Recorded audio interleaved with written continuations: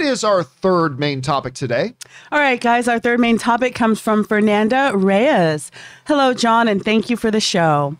I saw a story that said Wheel of Time is actually ahead of Hawkeye for the number one in demand show in the world right now. This is shocking to me. Is Wheel of Time really that popular?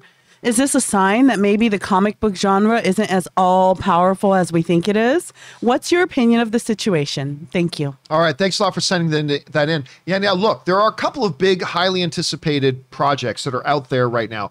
Hawkeye obviously started. And by the way, tonight is Hawkeye night.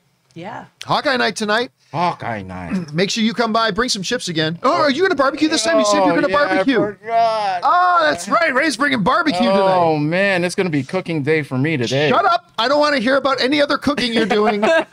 no other cooking. Am I Barbecue interested eggs. in that you're doing today other than barbecuing for Hawkeye tonight? And of course, tomorrow, Oh yeah, that's right.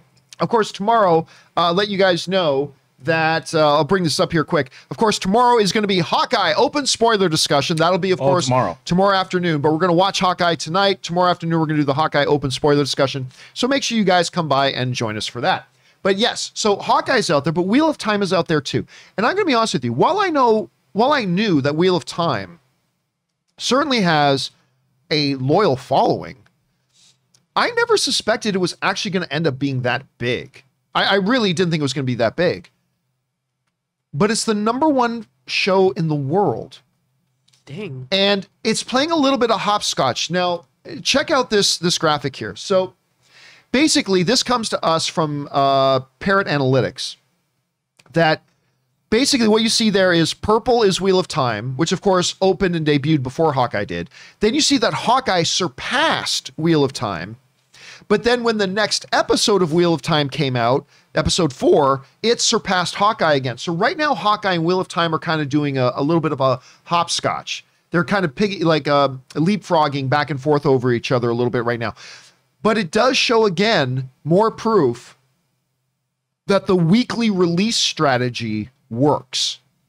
Because you see, week after week, you see Wheel of Time get higher and higher. And even though Hawkeye surpassed it, it put out a new episode, boom, it becomes the number one rated show in the world again. This comes to us from the folks, again, over at Parrot Analytics, who wrote the following.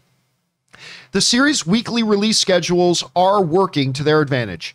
Demand for Hawkeye outpaced demand for The Wheel of Time in the two days following its series launch, while The Wheel of Time rose back to number one the day after its fourth episode launched. Hawkeye rose to the top of the global demand chart significantly faster than its fellow Marvel live action series. Listen to this. This is good news for Disney. The time between launching and hitting number one worldwide continues to shorten for the Disney Plus Marvel slate. WandaVision, which debuted in January, became the most in demand TV series in the world across all platforms 14 days after launch. So that was by episode three. The Falcon and the Winter Soldier launched in March and became the number one worldwide eight days after launch, while Loki became the top show in the world seven days after its June 9th launch. And of course, Hawkeye exceeded even that. So I think there's a couple of interesting stories here. Story number one is Wheel of Time. I, I mean, obviously, you're the number one show in the world. This I knew was going to have people excited about it. I knew there was going to be a core group of people that want to watch it. I did not think it would have this kind of global appeal, to be honest with you. Now I've watched it. I, I've caught up to episode four.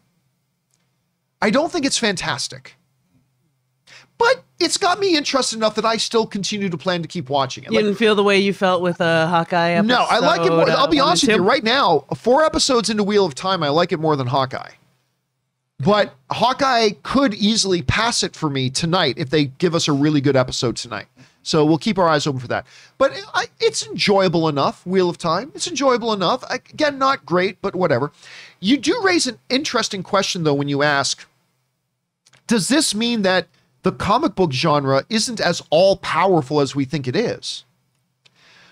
Well, it's a good question, but there's a couple things you got to keep in mind. Thing you got to keep in mind, number one, is that Hawkeye is still competing pretty. Wheel of Time is ahead, but it Hawkeye is competing neck and neck with it. And after Hawkeye has a new episode come out tonight, it's probably going to pass Wheel of Time. So keep that in mind. The second thing you got to keep in mind is this Hawkeye's release is probably represents the release of the least popular MCU character stuff they've done so far, other than maybe Ant Man.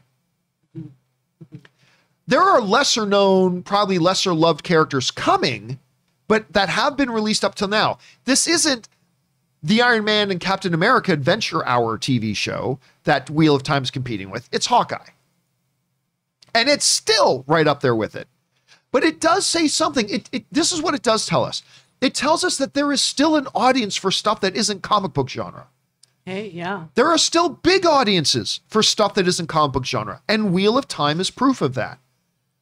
And so I think that's pretty interesting in and of itself as well. So again, I expect Hawkeye to retake the number one spot, and then when Wheel of Time puts out a new episode, we'll, they'll probably, like I said, keep leapfrogging each other for a bit. But Kim, I want to ask you: Have you watched any of Wheel of Time? At no, no. Yeah. I it's on my list. Foundation. Um, I just, oh, you got to watch Foundation. Just started Foundation. I fell asleep yesterday when I was starting to watch it. Um, and then Wheel of Time is on my list. I'm I'm almost done with Arcane. I have one more episode. Um, and so there's so many good shows right now, but I, I think they bring up an interesting point because if you think about it, when WandaVision was out, what what show had to be good enough for someone to be above like WandaVision?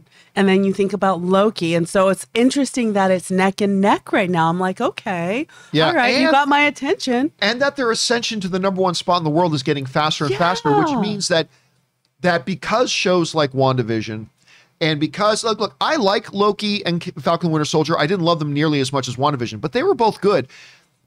The Disney shows are now getting a rep with their audience that, oh, yeah, when a new Marvel show comes out, watch it because that yeah. their ascension to the number one spot is getting shorter and shorter, and that's pretty interesting. Question is for you guys.